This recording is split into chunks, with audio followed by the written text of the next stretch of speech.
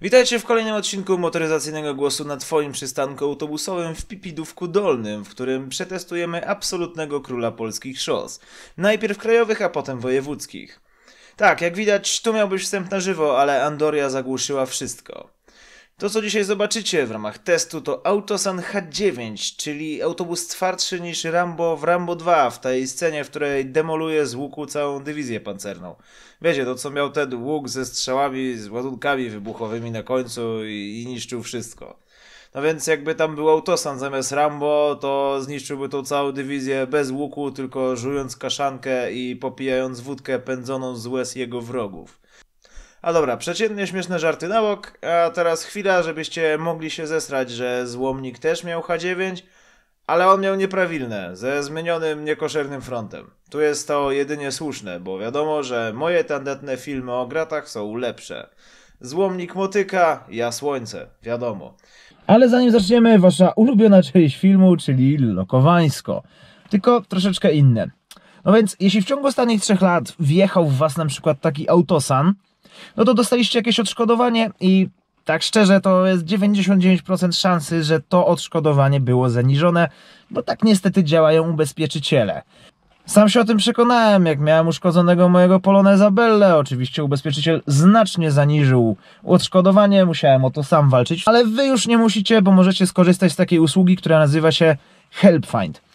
Co to jest? To jest taka firma, która sprawdza, czy wasze odszkodowanie zostało zaniżone i jeśli tak, od razu wypłaca wam dopłatę do tego odszkodowania, a wy już w ogóle nie musicie się tym martwić. Zapytacie, czy to jakieś oszustwo, pieniądze za darmo, piramida finansowa? Nie. Działa to bardzo prosto. Biorą waszą sprawę, widzą, że można na niej wygrać 6000 zł w sądzie. Wypłacają wam 5000 zł, wy macie to z głowy, oni idą do sądu, piszą te wszystkie pisma, tracą czas na rozprawy, w końcu wygrywają 6000 zł. 1000 zł to jest ich prowizja. Czyli w sumie każdy wygrywa. Wy dostajecie pieniądze i nie tracicie czasu, oni zarabiają. Także tutaj w opisie macie link do prostego formularza kontaktowego, którym przy okazji, jeśli skorzystacie z tego linku, to dostajecie 100 zł bonusu do dopłaty. I cóż, w ciągu jednego dnia Hellfans się z Wami skontaktuje i bezpłatnie oceni, czy Wasza szkoda kwalifikuje się do dopłaty. Także w sumie warto spróbować, link w opisie, a teraz lecimy z odcinkiem. Zacznijmy jak zawsze od historii. Jest zapyziały, zapierdziały PRL Gomułki, który sam nie lubił prywatnych aut, a jedyne wydarzenie wówczas w polskiej motoryzacji to polski Fiat 125P. Licencja, która pozwoliła przemysłowi na wielki skok naprzód, ewentualnie krok, jak w tej durnej wypowiedzi Edwarda Gierka z późniejszych lat. Staliśmy nad przepaścią. Dzięki wysiłkom klasy robotniczej zrobiliśmy ogromny krok naprzód. No więc pod koniec lat 60. w Sanoku wzięto się za konstruowanie nowego autobusu, który zastąpiłby przestarzałego Sana H100 czy tam 100H. Powstały dwa projekty. Pierwszy, Sanos A9, zbudowano w kooperacji z jugosłowiańskimi zakładami w Skopie. Drugi prototyp powstał w Polsce i nazywał się Sanok 9. Zasadniczo oba wozy korzystały z podobnej koncepcji. Stalowa rama, konstrukcja kratownicowa i silnik SW400, czyli licencyjny Leyland produkowany przez Andorię. Zasadniczo nawet oba te pojazdy były dość podobne z wyglądu. Z ważniejszych różnic to polski prototyp miał mniejszą prędkość maksymalną, ale za to palił kilka litrów mniej na setkę. Z testów wyszło, że jednak właśnie Sanok jest lepszy od kooperacji z Jugosławią, więc to jednak ten projekt rozwijano. W sumie nic dziwnego, akurat w autach ciężarowych i busach Polakom od dawna idzie całkiem dobrze. Ba, przypominam zjebom od gadania, gdzie są teraz polskie marki i że nic nie mamy. No, mamy właśnie autobusy, na przykład Solarisy, które jeżdżą po wielu miastach na świecie. Także Janusze tęskniące za PRL-em dupa cicho. Po prostu kontynuujemy działalność, ale w tym, co nam kurwa dobrze szło, a nie chujowo jak polonezy. No dobra, także skoro Sanok wygrał w 69, rozpoczęto dalsze prace i badania drogowe, które zakończyły się rozpoczęciem produkcji w 73 roku. Idealnie w czasach Gierka i wielkiego rozwoju na kredyt. No ale Autosan jest jedną z lepszych pozostałości tego okresu. Tak czy siak w 73 wreszcie na dużą skalę H9 ruszyła na trasy międzymiastowe, a także po prostu turystyczne. Oczywiście te pojazdy do celów turystycznych były zdecydowanie lepiej wyposażone. Powstawały też specjalne luksusowe edycje, np. na czas wydarzeń sportowych. A także zbudowano później po kilku tam bodajże latach wersje miejskie. Szybko w służbie PKS-ów Autosan H9 stał się prawdziwą legendą. Jako wytrzymały i łatwy w naprawie, a jednocześnie wygodny, świetnie się sprawdzał w polskich warunkach i każdy chyba pamięta kilka charakterystycznych zwyczajów związanych z Autosanem H9. Jeden z nich to tak zwana prognoza pogody w postaci klapy silnika. Ważniejszy element Autosana, kiedy się go widzi na drodze, to jest ta klapa, ponieważ ona jest prognozą pogody. Jeśli klapa jest otwarta, to znaczy, że będzie ciepło, a jeśli jest zamknięta, to będzie zimno. Aktualnie robi się zimno, ale próbujemy zaklinać pogodę, otwierając tą klapę, żeby jednak jeszcze było trochę ciepło, a nie pierdolona polska pizgawica. Drugi to to, że na krajówkach zawsze można było dostać za nimi pierdolca, bo ich kierowcy większość czasu jechali na luzie, korzystając ze wspaniałej bezwładności autobusu. Zresztą cykl życia autosanów był typowy dla konstrukcji z lat 70. w Polsce. Najpierw był szanowanym, fajnym, nowoczesnym sprzętem. W latach 80. już nie młodym, ale zdatnym podstawowym autobusem, by w latach 90. i 00 stawać się powoli smutną, gównianą koniecznością. Głównymi wówczas jego zaletami było to, że mało palił i dobrze znosił dziury dzięki staromodnemu zawieszeniu, a także to, że po prostu był dostępny. Co ciekawe, już w latach 80., a dokładniej na ich początku, Autosan wypuścił nowy, nowocześniejszy model H10, ale nie był w stanie odpowiednio zwiększyć jego produkcji, dlatego od 84 oba modele produkowano równolegle, aż do 2004 roku. Największy lifting Autosana H9 miał miejsce w 80 roku.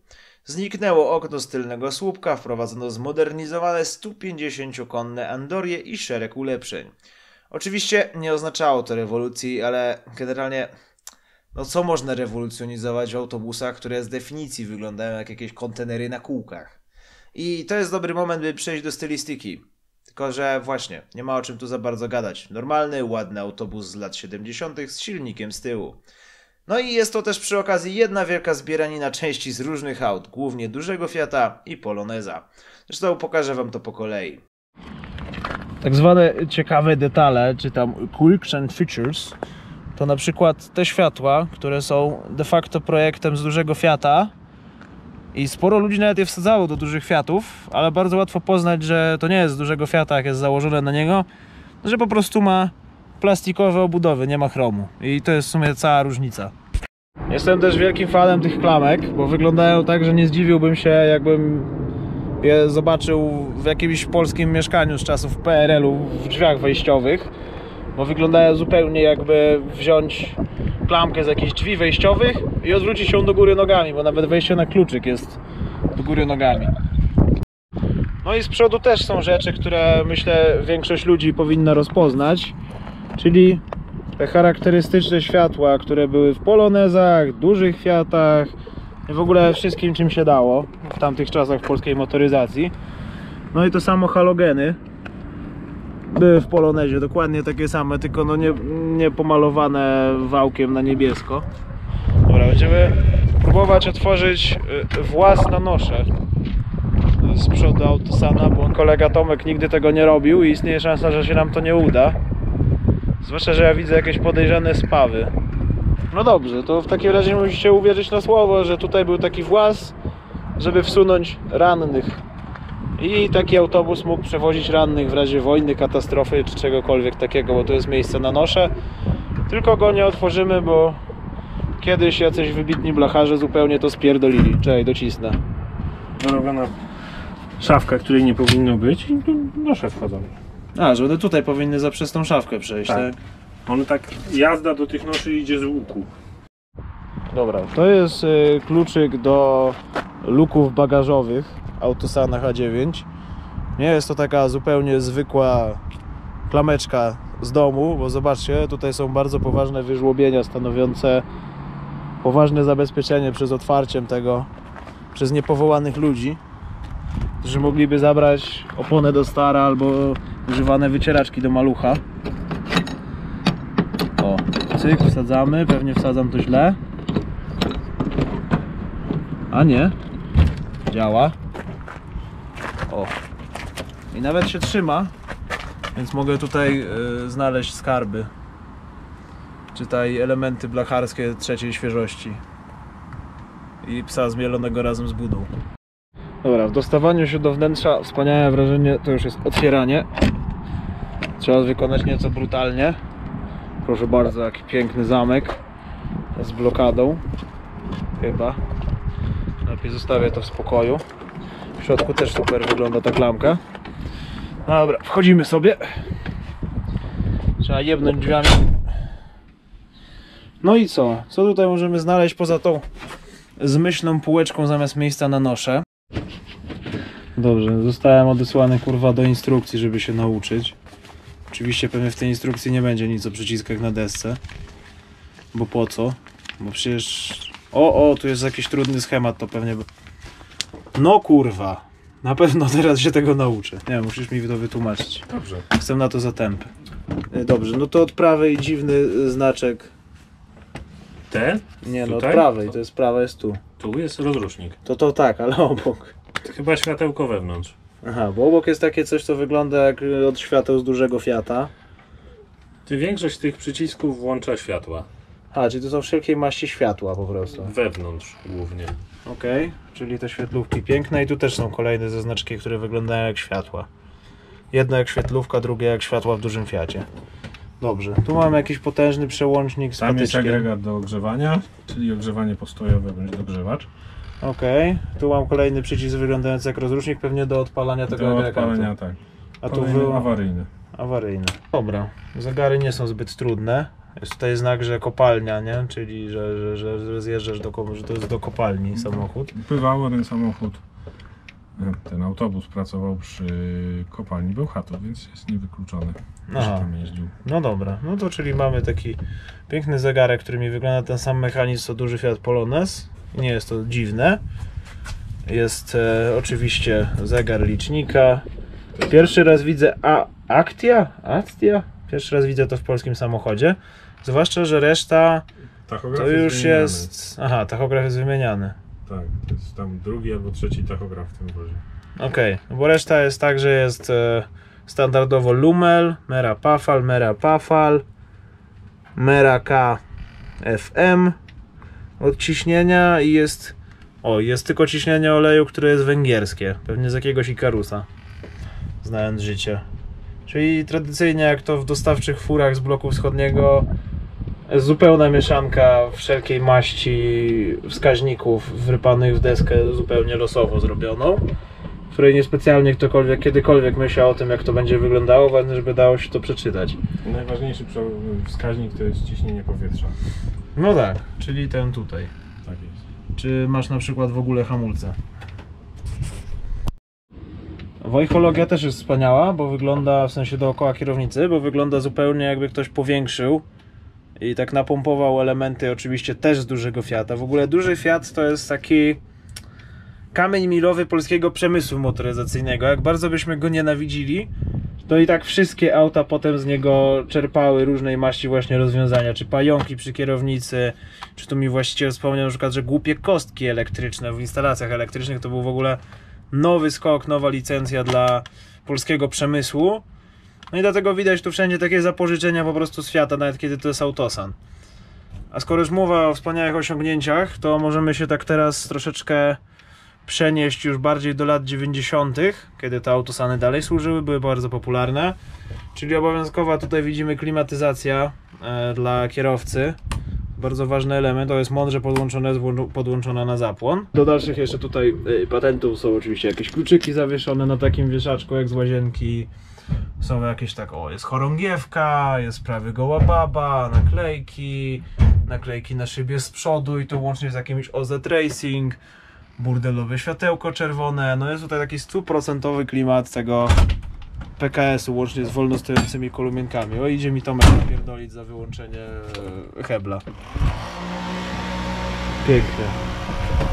Które zawsze podczas wycieczek szkolnych patrzyła wychowawczyni, czy tylny rząd czegoś nie odpierdala. To jest dokładnie to lusterko, bo to jest w ogóle wersja turystyczna. A i wreszcie wnętrze tych autosanów H9.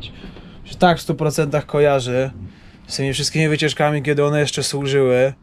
Jak w lecie nie było w nich klim, kurwa klimatyzacji, jebało w nich potem, było paskudnie gorąco w tej puszce, no i oczywiście hałas. Coś pięknego. No i te fotele, które o dziwo są całkiem, całkiem wygodne. One naprawdę nie były takie złe. Że zobaczmy sobie jakiś losowy z nich. O, ten jest najbrzydszy, najgorszy, to go przetestuję.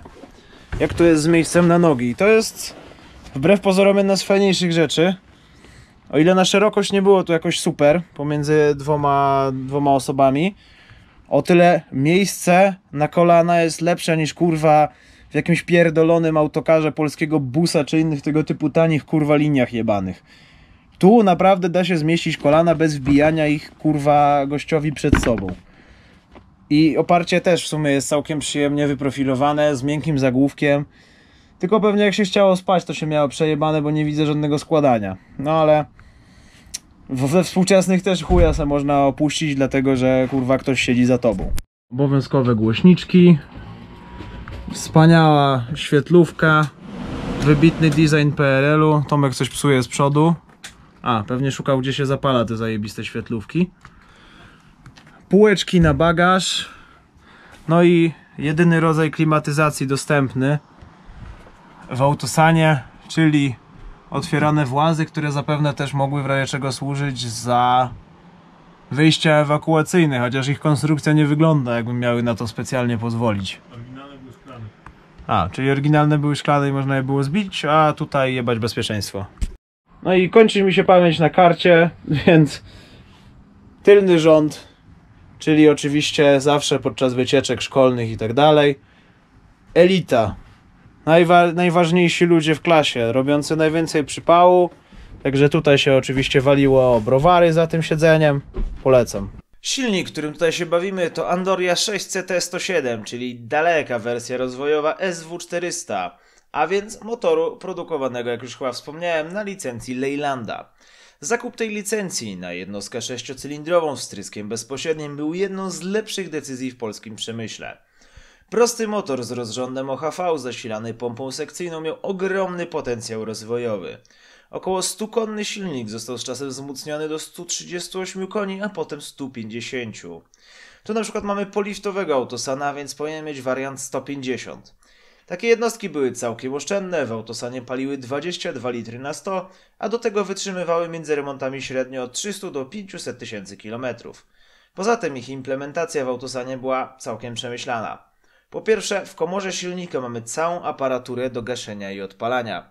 Jeśli coś naprawiamy i chcemy sprawdzić, czy działa, nie trzeba iść do przodu autobusu. Zajebiste.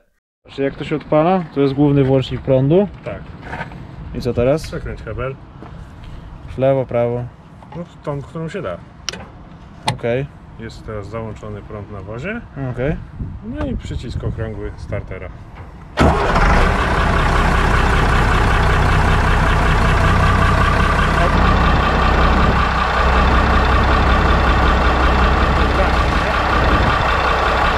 No tu.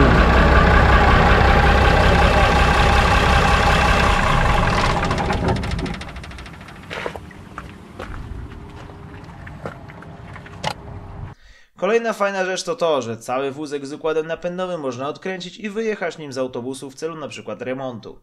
Bo generalnie wiecie, autobusów się nie złomuje, kiedy są zużyte. Po prostu robi się im kapitalny remont i póki rama się nadaje, używa dalej. To znaczy, tak było kiedyś, nie wiem czy tak jest dalej, ale na pewno było to bardziej ekologiczne. Tak, zdradzę wam sekret. Bardziej szkodliwe dla środowiska jest ciągłe produkowanie kolejnego nowego gówna, niż te straszne stare silniki bez pierdyliarda DPF-ów, EGR-ów, masturbatorów, defibrylatorów, wibratorów i innych chuj. Ale do rzeczy. Jedyne bezsensowne gówno, którego nie mogło zabraknąć z tej okazji, że jednak Autosan H9 powstawał w PRL-u, no to zbiornik wyrównawczy płynu chłodniczego. Ma dwa korki wlewowe, ten łatwo dostępny, niżej nie wystarczy do nalania do odpowiedniego poziomu. Za to ten, który wystarczy, jest tak kurwa umieszczony, że trzeba się posrać, żeby cokolwiek do niego nalać. A jak się jeździ autosanem, to zależy czy już był odpalany. Na zimno oczywiście wymaga włączenia prądu z tyłu, a następnie rozruchu i co ważne, zaczekania aż kompresor nabije ciśnienie w układzie pneumatycznym. Inaczej nie ruszymy. To dlatego możecie pamiętać autosany na dworcach PKS, które stały odpalone na długo przed odjazdem. Nabijały ciśnienie dla hamulców, sprzęgła i reszty sprzętu. Na ciepło jest już prosto. Włączamy zapłon, przyciski jazda. Tak wygląda procedura odpalania tego. Wyrzuć na luz. Czy to jest luz? Tu jest luz. Tak obstawiam. Znaczy trzymam i tak sprzęgło na wszelkie W. Szkoda, bo schodzi powietrze. No dobra. I co, przekręcam? Przekręć kluczyk, kontrolki zapaliły. No. I ma starter gdzieś tu? Zapaliły się już, tam zegary wstały, wszystko. No tak. To? Tak. Światełka wyciągasz po lewej stronie gałkę, jak wyniesie żuru. Tu. Tak, jak w Warszawie. Jest, dobra. Skrzynia w układzie H. Czyli jedynka do tyłu. Jedynka jest Ci w ogóle niepotrzebna. Czyli dwa do przodu. Do przodu, tak. Hamulec jest pneumatyczny. Czyli jak ciężarówką jak starym. Meldowanie w szybie, tak. Ręczny. Gdzie on ma rękaw? O to, to, to, to. To? Do, do, pociągnij do tyłu. To coś? Tak. Okej. Teraz do przodu. Dobra. Nie, on to sam rusza. Pozycja za wielką kierownicą nie jest zła, a ogólny feeling mechanizmów jest podobny do Stara 266. Dość miękko działające sprzęgło, mocne hamulce i pięciobiegowa skrzynia. O dziwo, wbrew obiegowym legendom, nie jest aż tak strasznie trudna w użyciu. Okej, wodziki są w kurwę długie, idą przez cały autobus, ale nie trzeba dwóch lat szkolenia, by trafiać w biegi. Od taka typowa przekładnia typu kij wsadzony w wilgotny obornik wytworzony przez dorodne krowy z południowej Małopolski, pasące się przy zimnym górskim potoku i jedzące najlepszą trawę. A tak bardziej po ludzku, ta skrzynia działa jak gówno, tylko takie wysokiej klasy. No ale do rzeczy. Jazda autosanem, choć początkowo mnie przerażała, okazała się zaskakująco prosta. Chętnie rusza, moment obrotowy sprawia, że jest całkiem żywy, kierownicą kręci się łatwo, choć trzeba wykonać jakiś milion obrotów, żeby tak serio na przykład zawrócić albo skręcić. No ale na ile pojeździłem po placu, nie jest to coś bardzo trudnego. No i obczaiłem tą legendę o tym, że autosan na każde 800 tysięcy przebiegu 500 przejeżdża na luzie. Faktycznie wspaniale się toczy, jak się go wypuści na luzie.